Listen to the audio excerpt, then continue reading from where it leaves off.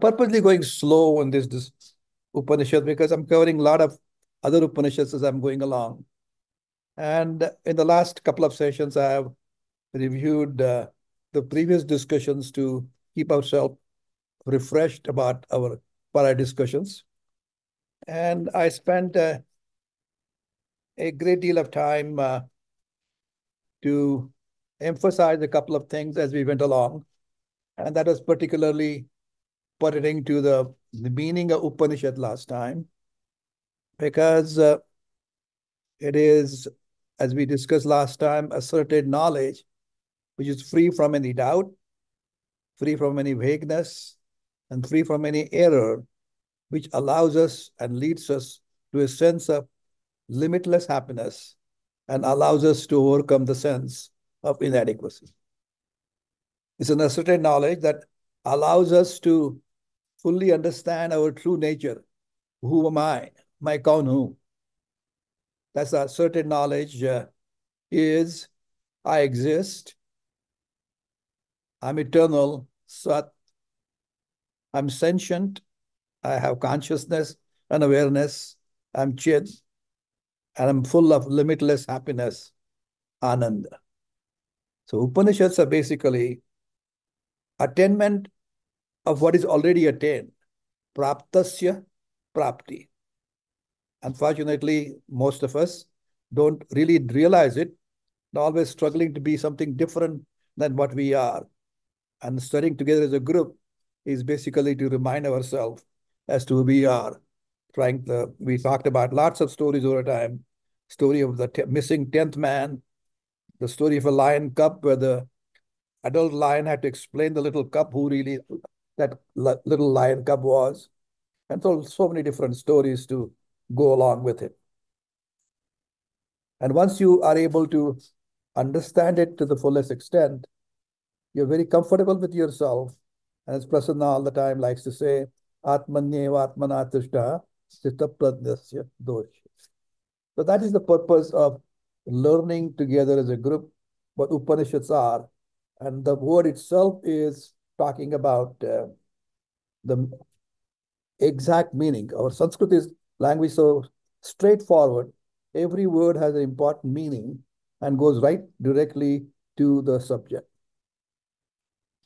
Over a period of time, we have studied a great deal about different kind of speech uh, and an ideal speech we learn must be very truthful and arising from the or foundational power center Muladhara Chakra.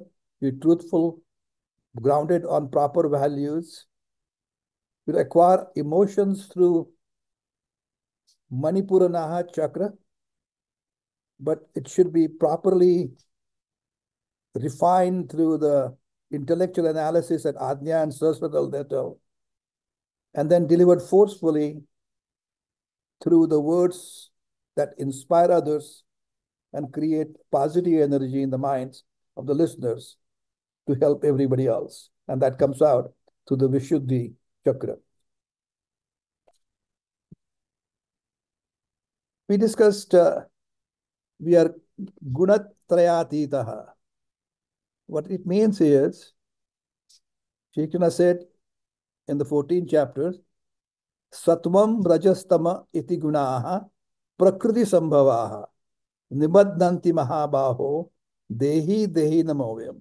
Hey Arjuna, Sattva, Rajas and Tamas, the qualities existing in Prakriti bind as though the changeless indweller of the body, Atma, Dehinam, to the body.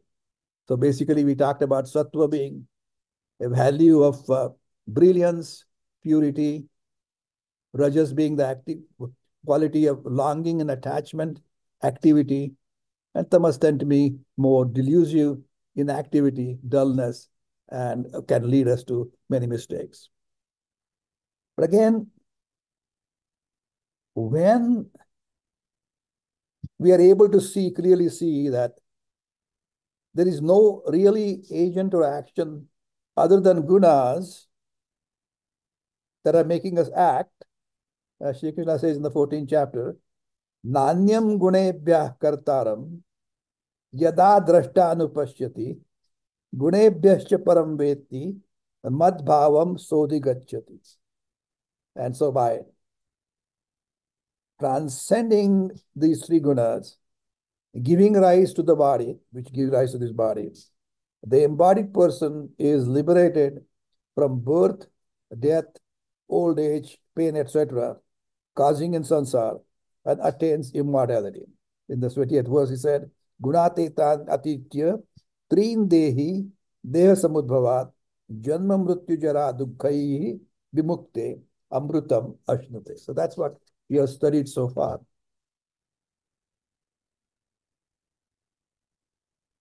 Then we discussed uh, the different avasthas that we go through.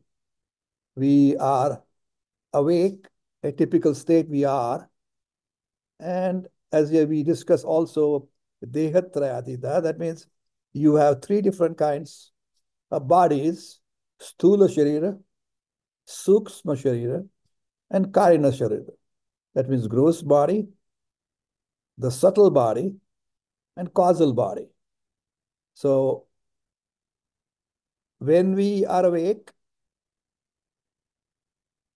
the typical state for most of us, and we identify ourselves with the body, and we confuse our body, mind, and intellect as our true nature, and we interact in the object of world.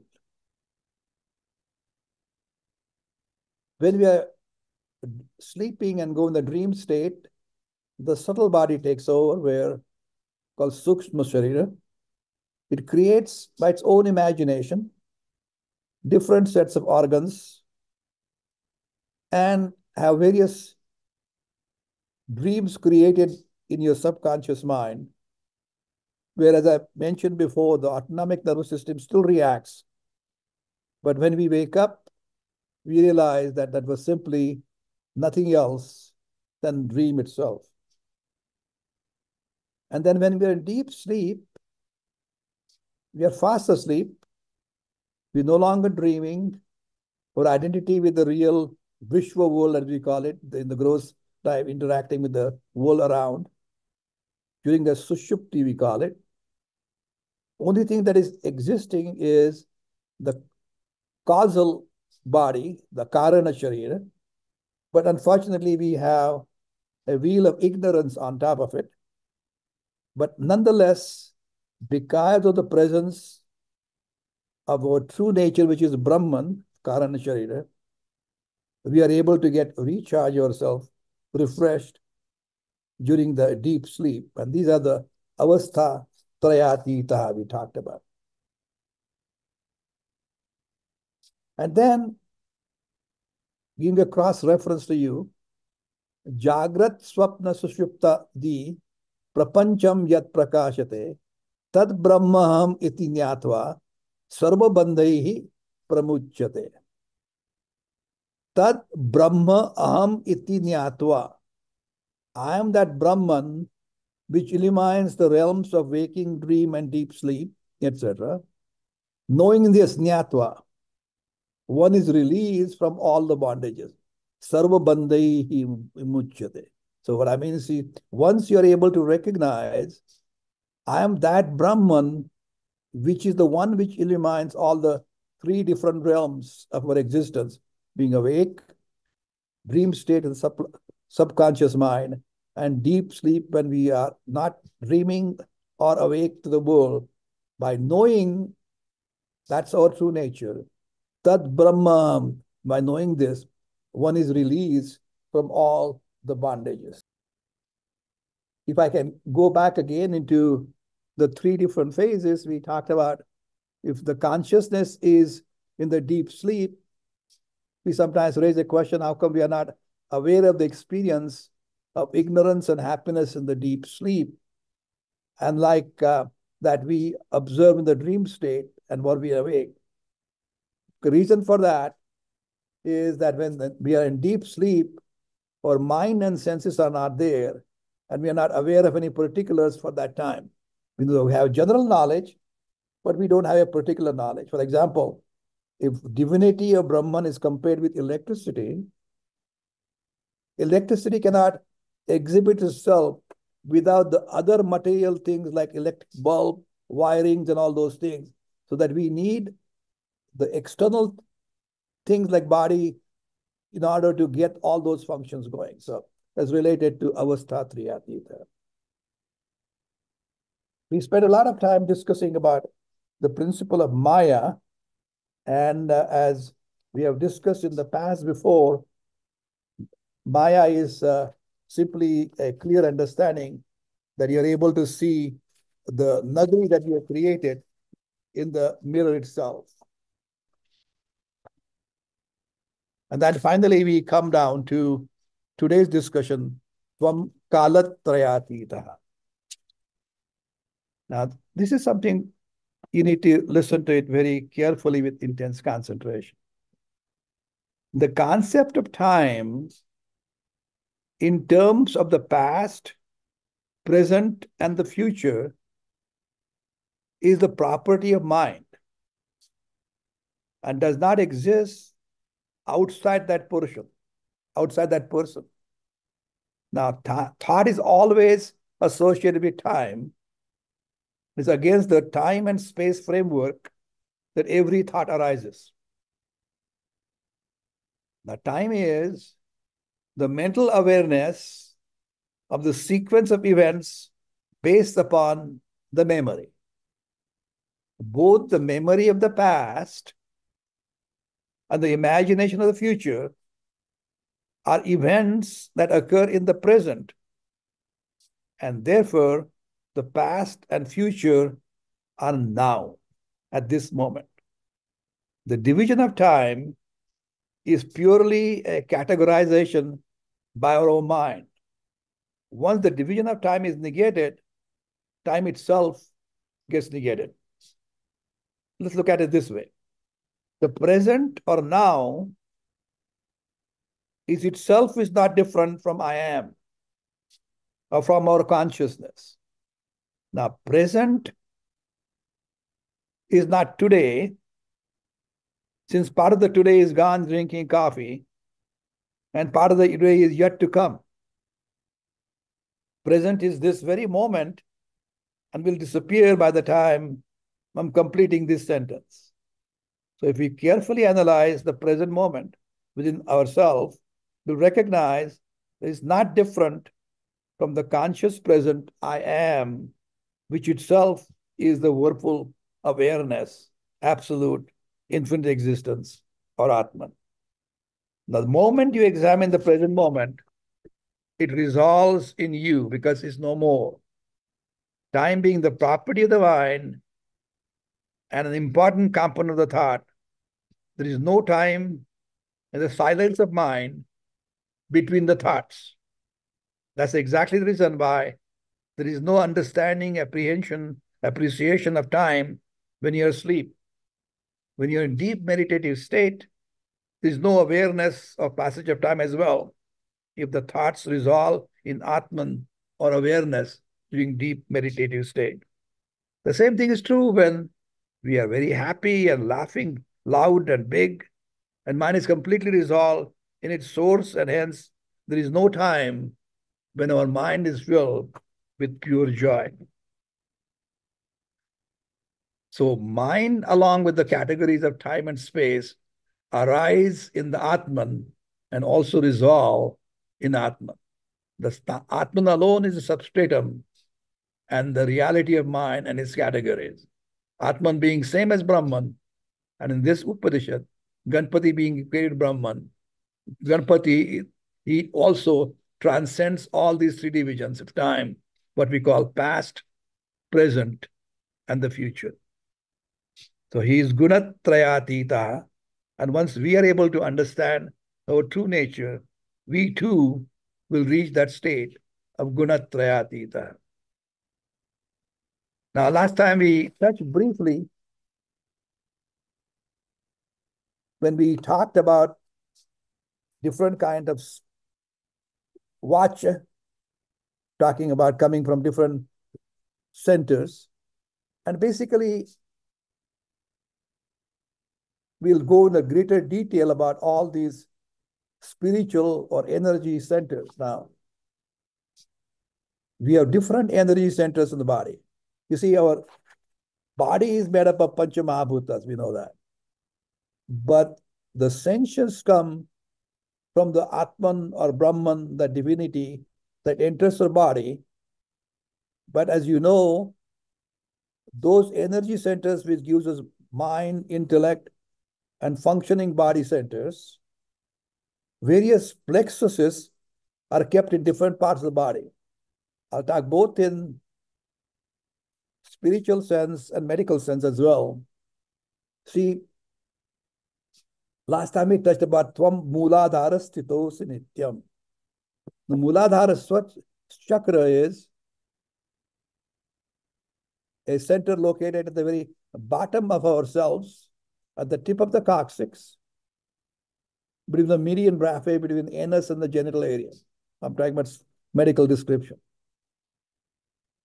The Swadhisthana chakra is located in between the front of the pubic bones and the sacral plexus in the back. The Manipur chakra is located at the level of the umbilicus. Anahata chakra is located near the heart. Vishuddhi is kept located at the level of, of the throat. The Ajna Chakra is located between the two eyebrows or between two eyes. And Sahasrara, Sahasratala is on the top of the head. So these are the various seven energy centers we're talking about. Every energy center has specific functions. And then I still remember uh, Geeta, your father discussing with me in the old uh, temple in Polk Street, he would be asking me a question about Kshetra Kshetratni Yoga. So there he in the beginning says, Prakrutim Purusham Chaiva Kshetra Kshetramaevacha Etad Veditum Vichani Jnanam Nyayam Cha. So basically, Arjuna was asking in the beginning of the 13th chapter, please tell me about Kshetra and Kshetratnya. So human body is a powerhouse. But the mysterious power of the Lord reflects merely as an assemblage of flesh, bone, and blood. And here it is described here as kshetra, from which all kinds of power arise. However, this power of Brahman is concentrated presence in specific parts of the body known as chakras. So these are the power, seven power centers we're talking about. So I talked about Muladhara Chakra. For example, now for people who like mnemonic, uh, people who know Marathi, we used to call it Tana Nipaza. These are different colors. Ta Tamda, Naringi, Piula, Hirwa, Nila, Parva, and Zambra. Or the colors from other side was VIBGYOR, violet, indigo, blue, green, yellow, orange, and red, depending from the topping from the top of the head all the way to the Muladhara chakra, which is red. But uh, if you, uh, when I send you the notes, I'll send you VIBGYOR, V-I-B-G-Y-O-R, but these are basically colors. Again, the mantras are, for the bottom is Lam, for Swadhisthana is Vam, for Manipur is Ram, for Anahat is Sam, and for Vishuddhi is Ham, and subsequently is Om. So these are the way going to the head. So these are various mantras. And again, all these centers are given various elements. Muladhara is Prithvi. Swadhisthana is given Ap. Manipura the Bimbi. At the level of the umbilicus, Agni. At the level of the heart is Vayu. At the level of your throat is uh, space, Akash. And of course, at the Ajna and Sahasral, basically is the Brahman between the eyes and Sahasratal. Basically, Om, Om, Om. Those are the centers that go. Now, again, when you're talking about Muladhara Chakra, with that, we have a feeling of being well grounded, well contented. There is a sense of commitment and independence at Muladhara Chakra. With that center is strong, we are energetic, and we have tremendous vitality. We have strength, and we, as yet, we have feeling of quietude and stillness. Kind of paradoxical. Strong, as yet quiet and stillness. These are some of the muladhara. For Swadhisthana, basically, these are feelings of compassion, friendliness, intuitiveness, vitality, sense of belonging. And in Manipur, around the level of the umbilicus, you have the energy, intelligence, high productivity. Anahat chakra near the heart, there's a compassion, empathy, friendliness, optimism, increased motivation, and outgoing nature. At the Vishuddhi, basically the increased creativity, expressivity, expressivity, the good commitment and skills, and contentedness and good listening skills.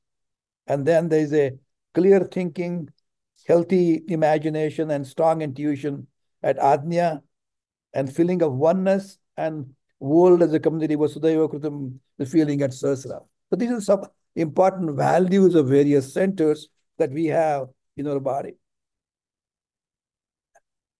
And then we studied, we're going to study today our Tvam Shakti Trayatmaka.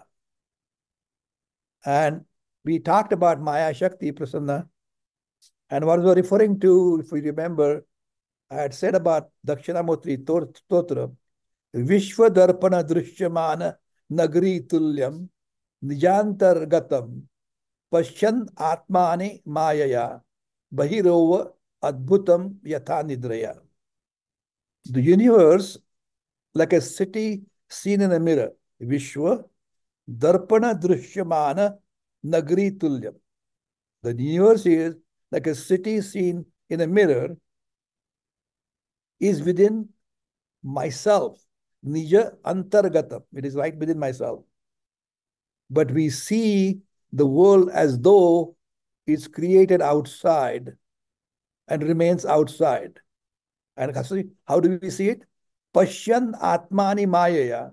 We're able to see because the power of Maya, Bahihi Ut Adbhutam Yatha Nidrya. The way we see during the dream state, that way we see it in the dream, the world phenomena being outside. So these are the Shakti we are talking about.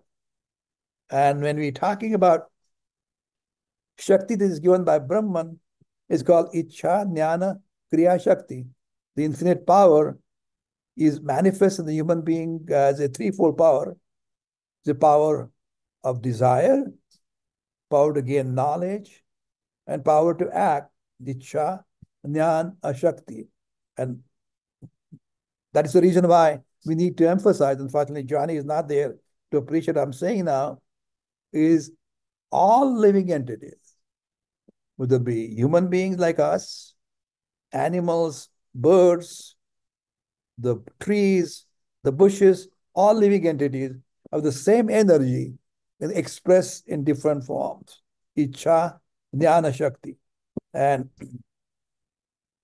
those people who have understood that connection around, these are Nirmama and Nirahanga, realize that power that has been bestowed upon us does not belong to us, but has been given to us by divinity, Brahman, then they recognize that they are not the doers and they are not the enjoyer.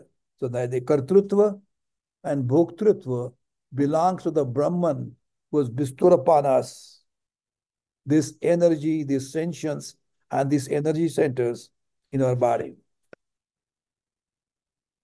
And finally, I want to mention this, and there will be a lot of questions, I'm sure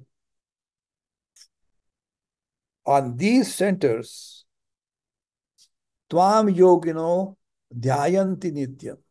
On those poverty centers, power centers, to that, with that understanding, Yoginaha, Yogino, Yoginaha, Yogino becomes Yoginaha, Dhyayanti Nityam. So those on that Brahman, the yogis, that means coming the words Yuja, Yuja means putting together, those who are mind and body together, they're able to connect with that and their mind is focused on that central area which gives us the energy in the deep meditative stage. So that's exactly what we do when we try to do deep meditation. As we go inside and go inside to what am I saying going inside? You're bringing your thoughts from outside together, keeping your eyes closed but not asleep. With concentration, you're able to bring in our understanding towards as if into walking through the cave of your mind. At the bottom of the cave is located your Brahman, Atman, and going to meet that particular entity. You need meditation. So that's what exactly what you're doing it. That is the consciousness. You connecting between your body, mind, intellect into the Brahman or Atman, which is located inside. I know too much of concentrated stuff I had to discuss today. I'm going to stop at this stage and open up for questions or comments. Thank you. You know, meditation, the whole concept of meditation, as, as you say, there are people who do it for 20 years, a whole lifetime, etc. But what they're the object of it, I mean, I've been doing it on and off, and you know, I know on and off doesn't work. It has to be consistent, it has to be, mm-hmm. etc. But you still are trying to find that deep, you know, we say, oh, we're trying to connect with the Atman. So, but that's a very superficial thing to say when you're actually trying to get into the cave, the abyss, you could say, of that um, mind, you know, it is very difficult. And what are you trying to do? Is that when you get your self realization, your moksha, in a sense? I mean, you should be advanced to begin with, right? To, to do that. You know, when you were a little baby, you didn't start running, did you? No. You barely tried to get up, sit up, and your mom was very happy the first time you took a few steps, you fell down. And gradually, as you grew up and matured, you started walking, running, and got a control of the thing. So first thing is, um, this is not a meditation center, uh, meditation process uh, discussion. I think uh, Arun can describe it or in the meditation we discuss about it.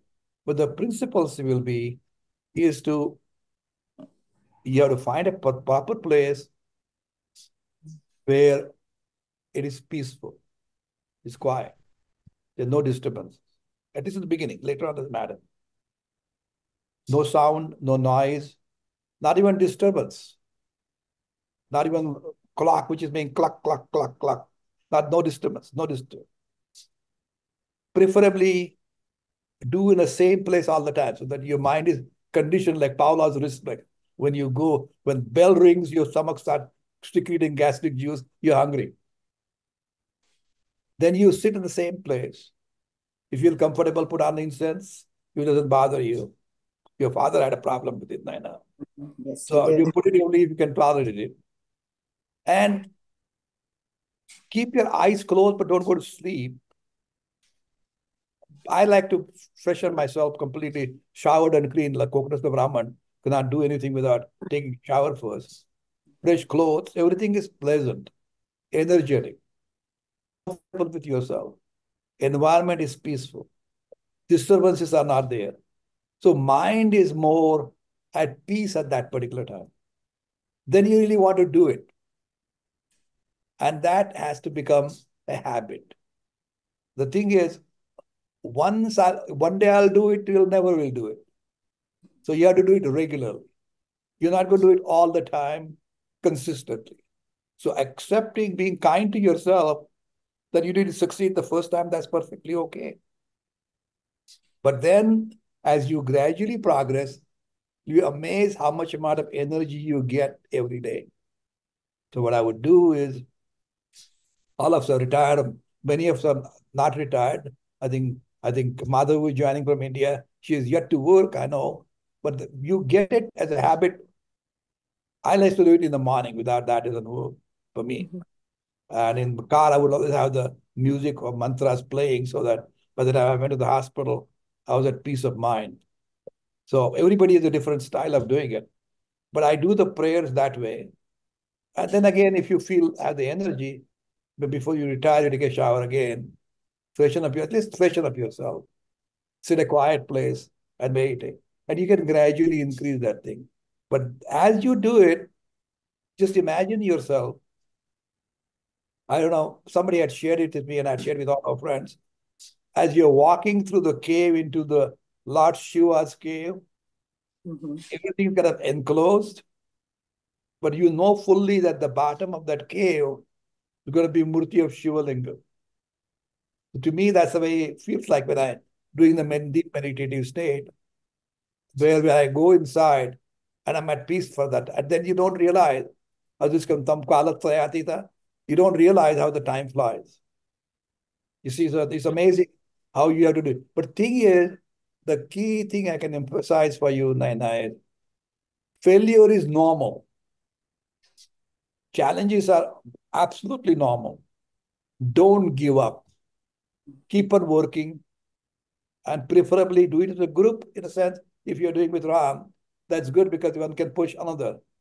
But towards the end, you have to be alone in your mind, connected and at peace. And the way you will find it, you'll be refreshed when you're done. I hope, I hope I tried my best to confuse you. No, that's fine. Thank you. What really amazes me Uh-huh. is you take one line that Uh-huh. you are beyond time or beyond gunas and expand on it for almost an hour. Uh, I'm simply stupefied. I mean, uh, you, you go through so many other scriptures, references, and so the ideas become very clear. Good. I'm happy that. Yeah, it's a, it's a gift, a God-given gift. And No, I'm very, very gift. happy to be part of it. No, thank you. No, I think that the, thing is we are really um, uh, everything. For example, when we drive on the car on the highway on um, Prasanna, there's so many different things that are using as gifts. You don't realize it. So that when you are driving from point A to point B, looks like you're just going driving. But there's so many different things that are coming to your mind from different directions. If they are not constantly keeping you alert to your destination, you have problems. So when you're discussing a topic, it's important to get cross references to make it more clear. That's the way I like to do it. So Namaskar, Dr. Sane. I have some questions. sure.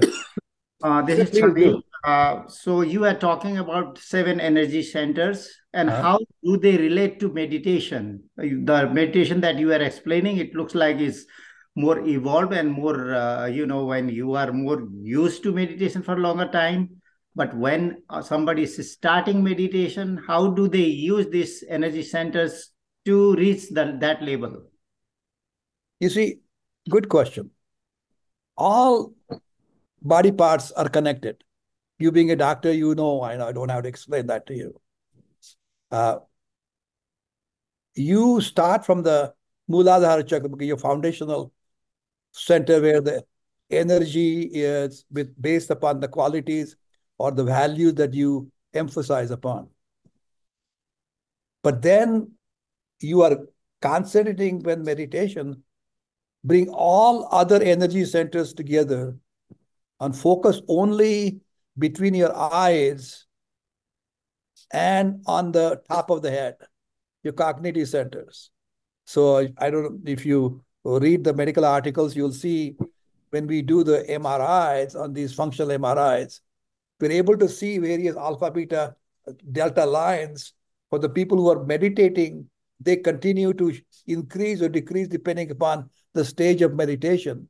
And over a period of time, certain centers uh, are able, to, certain areas do get enlarged. So if you read the study from Stanford and Harvard, you'll find out that meditative centers do affect our nervous system in the areas. Now, you having come from northeast portion, Bhutan and Nepal area, you realize that many of the uh, Buddhist monks, when they pass away, their body skin color does not fade for quite few days.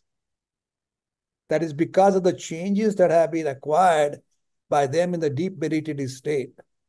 So basically what you're doing there is bringing in your energy concentrated towards the top of the head and between your eyes and you are at peace. So these, remember even though I described them as seven centers, they're not separated by each other. They're all interconnected. When I talked about a powerful speech, remember it went from the very bottom to the top of the head. Then only you are able to be very effective about the speech is concerned. You see what I mean? So when you're meditating also, your values start at the very bottom, but meditative center being at the level of mind where you're controlling, it goes towards the head and uh, between the eyes, Ajna and Saraswata. The thing is, only the way to do it, it doesn't matter how the car runs, as far as I'm concerned. For me, the most important is it runs.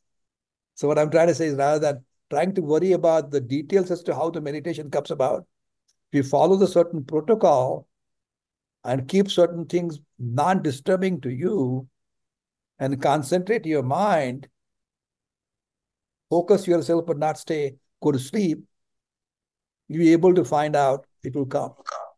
Okay? Hey, Vatsala, any questions for you? Yeah, I was just um, wanted to know, is deep state is the one which is like achieving the peace totally? Yes. Difference between deep state and deep meditative state is similar but little bit different. How come? When you are asleep in deep stage, Shodavastha, Sushupti Sthiti, you are connected with the Brahman or Atman, but you're ignorant about it. You're fast asleep. When you are deep meditative state, you're connected with Brahman or Atman, what you want to call it, but you are awake. You are alert. You're connected. So that's a major difference between getting connected with your divinity within Atman, Brahman. When you are awake,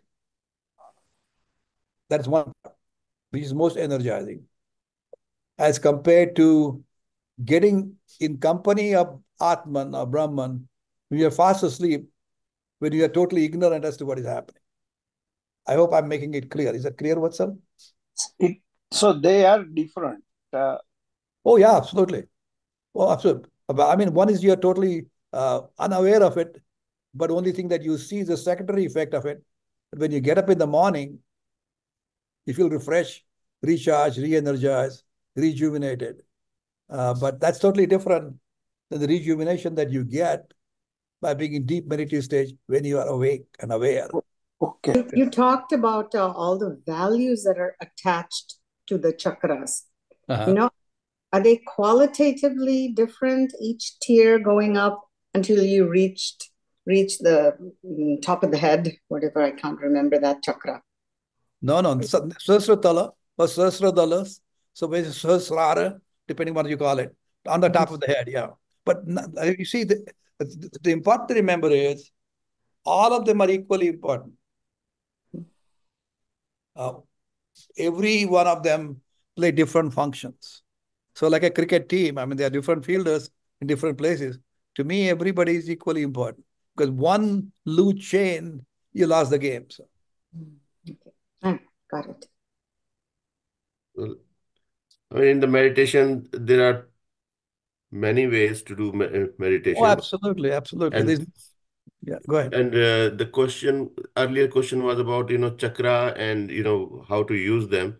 Yeah. So if they want to understand how it is used, so science of spirituality type of meditation. I mean, if you attend their meditation, mm -hmm. they are focusing only on one chakra, which is like Agnya chakra. They are they are not uh, moving around and uh, you know from uh, root chakra up or anything. So they just focus on one chakra and uh, that's it. Then there is Sahaj Yoga meditation where they are moving around on all the chakras mm -hmm. and uh, examples are there in our YouTube videos because people have uh, shown. So if Sure. they want to just check it out, they can. Uh, there are multiple ways and multiple sources they have the information on that. Well, well said. I think use what you like, whatever fits you. So Yes, yeah. Everyone has a different need actually. exactly, that's very true. Well said.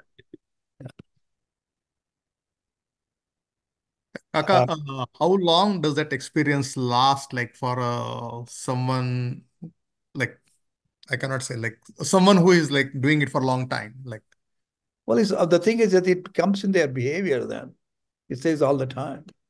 okay, Because you become personality becomes quiet.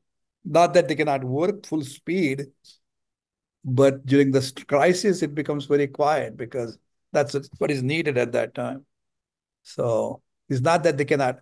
Um, I mean, I remember uh, uh, as a chairman of the department uh, going outside and uh, criticizing somebody, one of the workers, uh, because they, they had not done the job, and I had to tell them what to do. When I got back to office and started laughing, but not me to act in such a way that you get the point across to the person working with you to make sure they get the point. But that is not your nature. That your nature is being kind, considerate, caring, and loving. So, so you have to sometimes, you know, you basically remember, Amar, uh, we are playing different roles in life. We are actors on the stage.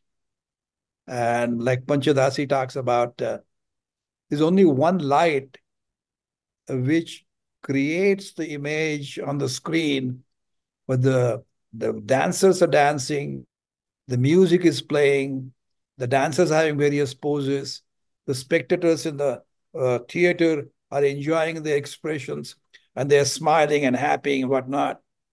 But the thing that allows us to see that is that one single light it allows us. And so you connect that we are the actors. So we are really on a stage, sometimes working, acting in the form of a king, sometimes working in the role of a beggar. But we are not neither beggar nor the kings. We really are the Brahman in this particular body as Atman. So I don't know if I'm answering your questions or not. I would like to uh, second what Dr. Prasanna Kumar said that like we are really fortunate like to hear these things from you. So No, no. uh, taking into this really deep inside. I think it, the thing is, you know, it rains. I just people who care about it will collect it in the pot and use it for cooking later on, and other people let it go in the drain pipe, which is fine. Rains continue to rain, so it's a privilege to share with you. So that's thank you. Thank you very much.